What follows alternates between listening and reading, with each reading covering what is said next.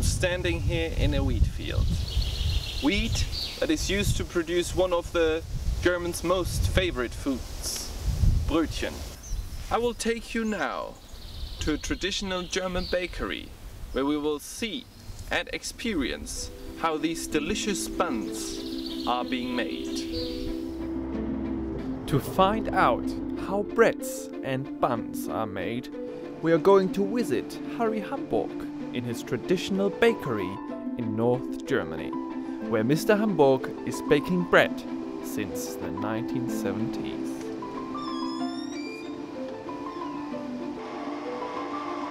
Mr. Hamburg, his wife, his son, and a driver are the only people working in the bakery.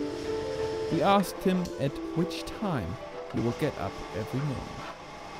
Mit, um, mit wenigstens zwei. Ja, es sind verschiedene. Sondern fangen wir noch früher an. Dann haben wir zum um 22 Uhr angefangen. Und wie das, äh, Sonntag fange ich um 4 an. Das heißt jeden Tag, ne? Ja, wir haben ja, ja gut, das haben wir auch ein bisschen nachgelassen mit Gebäck, was wir anbieten hier und weil wir einfach nicht mehr die Möglichkeiten haben. Früher mit mehr, mehr Leuten kommen wir mehr anbieten. Ja. Und heute machen wir, machen wir weniger. Wir ungefähr ach, zehn Sorten Gebäck vielleicht noch haben.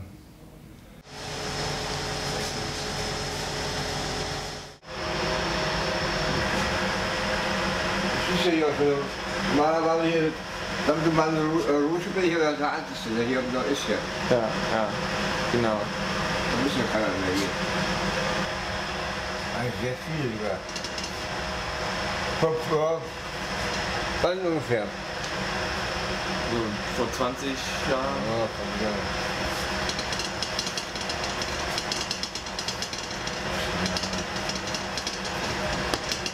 So, 100. 100 pro Tag. Oh, okay, ja, bestimmt. Wie, zu, wie viele Leute waren Sie dann immer in der Bäckerei, dass Sie das so gemacht haben? Oh, aber unterschiedlich so, ne? Was haben wir noch? Ein, zwei Gesellen gehabt. Und noch Lehrling auch noch. Zeitweise, ja. Also dann manchmal zu viert. Ungefähr, ja, ja. Und wann, wann ungefähr hat sich das so geändert, dass, dass es dann weniger wurde? Also, Zeit würde ich Nur so nach und nach irgendwie. Ja. Aber wann kannst du auch auch nicht sagen. Wie alt waren Sie da, als Sie angefangen haben? Zu werden? Zu Ja, werden? Genau, zu lernen. 16. Äh, 16.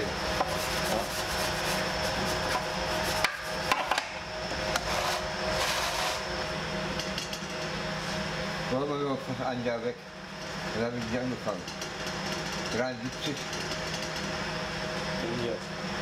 Ja, und da war ich noch, da war ich einmal in Hannover hier zur Schule. Ja. Was ist der Schule? Die ist in Hannover. So,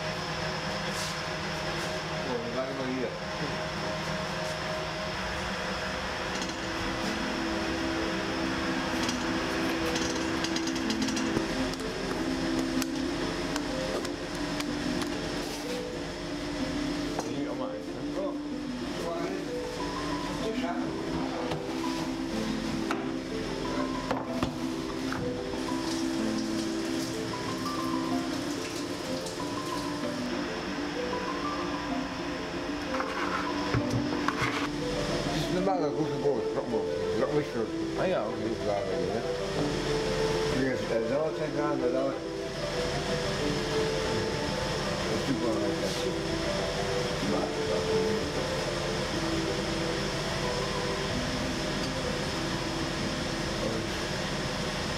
Das hier aber nicht stimmt. Das müssen wir mal auszendieren, ne? Ja. Der war kaputt und jetzt ist. Ich glaube, ich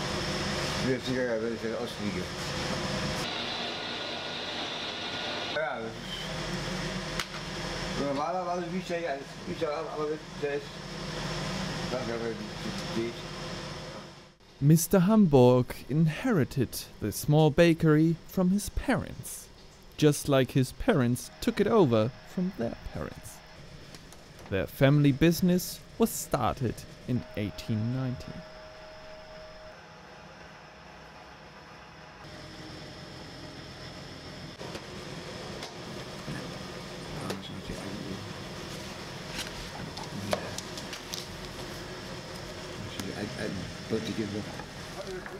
Ja. 55. Ist auch was anderes. Also jeden Tag auch, ne? Ja. Wie viele sind so üblich am Wochenende? Auch auf die Tage, wie das. Das ist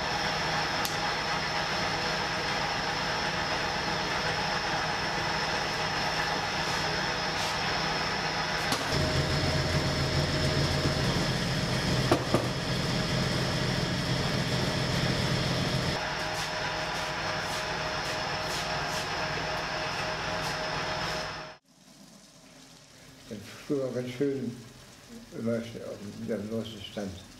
Und wie gesagt, hast du irgendwie mehr Zeit, auch mehr Zeit gegeben. Ne? Denn ich hatte ja auch alles eingerichtet hier, was funktioniert, dieses. Auch heute musste das ja gar nicht mehr. Ne? Wir haben nur im Mähsilo gearbeitet. Ne? Und ich dachte, ganz diesen Gärunterbrecher, ne? Das war alles funktionsfähig. Aber heute mal ist alles, ja, brauchen wir es nicht mehr. Hat man das nicht mehr gegangen.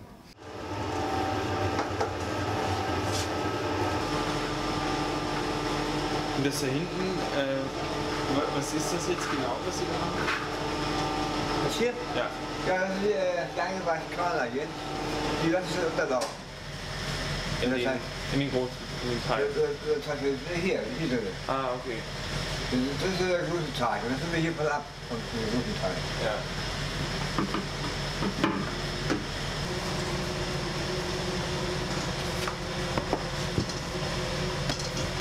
Sie heute Morgen angefangen? Morgen. Zwei. Und sagen wir so, äh, die sind reingestellt, Gas haben wir so gemacht. Äh, die, die Brötchen. Die machen wir alles sofort weg, die haben das im Förster stehen. Die machen schon Tag vorher auf. Und dann sind Sie dann meistens fertig mit dem, mit dem Backen. Oh, unterschiedlich. Aber ich gucke nicht auf die Uhr, ne? Ja. Wenn es fertig ist. Ja.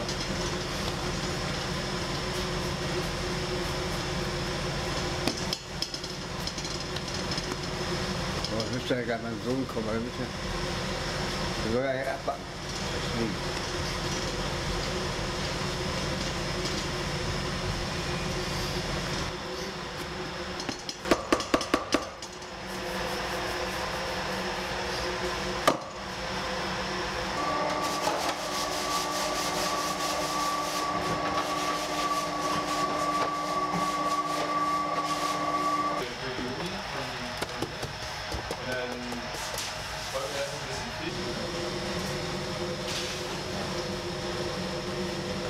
Das äh, Brötchengeschäft äh, sonntags, das war das Beste von der ganzen Woche. Weil die Leute alle Zeit hatten, am Sonntags am meisten Brötchen verkauft. Und das ist auch immer noch so. Aber gut, jetzt hat ja mein, mein Nachbar ja auch hier. Genau. Das ist das das das Zeit, ne? Da war, war, war ja vorher alleine. Ne? Aber die merken nicht, dass er, das sind ja auch, ich sage, auch teilweise Aufbackbrötchen hier zu Die merken es gar nicht. Ne? Wie gesagt, so wird ja gesagt, wenn man das merkt. Abends schon Krümel, ja. Sind, ja keine Bäckereien, das sind ja ja Aufbackstationen.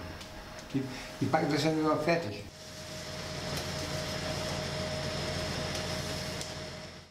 So ohne Stammkunden wäre hier gar nichts. Ne? Also, gut, aber wir sind ja so viel mit der, mit der Fahrerei zusammengekommen und haben wir dadurch To keep up with competitors, services like the bakery's own delivery service were important to survive, especially in this rural area. The delivery service was part of the bakery's business strategy since the bakery's first days. even before there were cars. Mr. Hamburg witnessed the change of the whole industry. Ja, früher sind wir auch nicht so früh aufgestanden. Das, das wurde immer ja verrückter. Denn ich bin noch die erste Zeit um vier haben wir angefangen zu arbeiten. Und heute wollen sie schon immer früh haben. Ne? Deswegen um zwei. Ne? Und dann haben wir um zwei angefangen zu arbeiten. Heute wenigstens um zwölf oder noch eher. Ist noch, äh, so viel, oder was, was du machen? Das denke ich mir schon mal, ist es schon mal.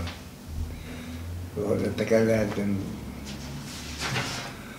müsste schon sehr viel sein, dann durchzukommen oder existieren zu können. Ne? Denn nur Bäcker reicht nicht mehr.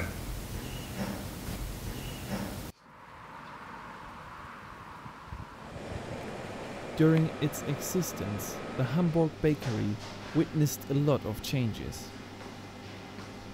The old bakery is representing the German love for bread itself. The bread buns are popular and loved on every breakfast table, especially on the weekends, when the families have time to eat together. But pastry and bread buns are not just popular on breakfast tables, travelers like to enjoy them as well. Bakeries provide a fast, cheap, and delicious way to satisfy the hungry traveler. Bakeries are so present in the German culture, they can be found everywhere. Bakery products are enjoyed everywhere and by everyone. They are as popular as never before. We will now visit the biggest producer of bakery products in Germany, Harry Brot. Also ich sehe die ähm, industrielle Herstellung von äh, Backwaren ähm, so, dass es wahrscheinlich äh, noch ein bisschen ansteigend äh, sein wird in Zukunft. Das liegt ganz einfach daran, dass die Qualitäten sehr gut sind. Äh, die Qualitäten äh, von uns ähm, müssen sich in keinster Weise verstecken, die halten jeden Vergleich äh, mit dem Handwerk stand. Aber ich sehe eben auch ähm, für die Zukunft, dass das Handwerk nach wie vor seine Daseinsberechtigung hat. Und wenn ein Handwerksbäcker sich große Mühe gibt und auf seine Kundenwünsche eingeht, dann wird es auch, wird es auch in Zukunft, wird es ihn auch in Zukunft noch geben.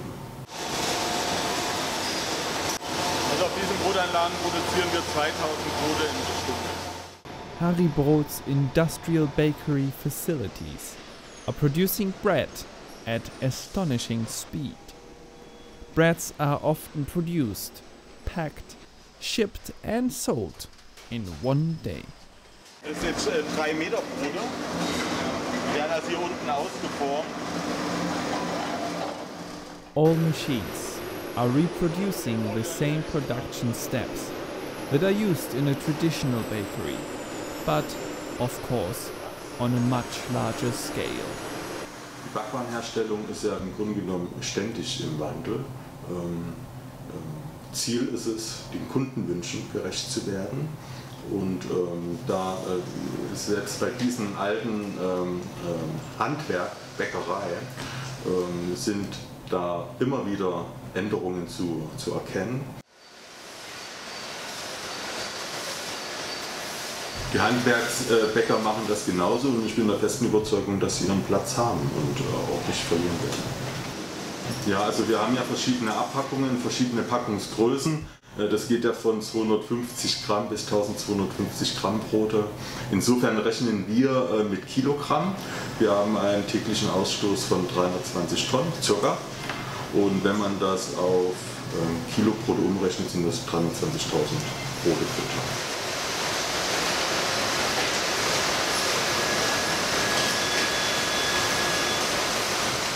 Im Endeffekt ist das ähm, wichtig, was der Kunde äh, sich wünscht und äh, darauf ist Einfluss zu nehmen.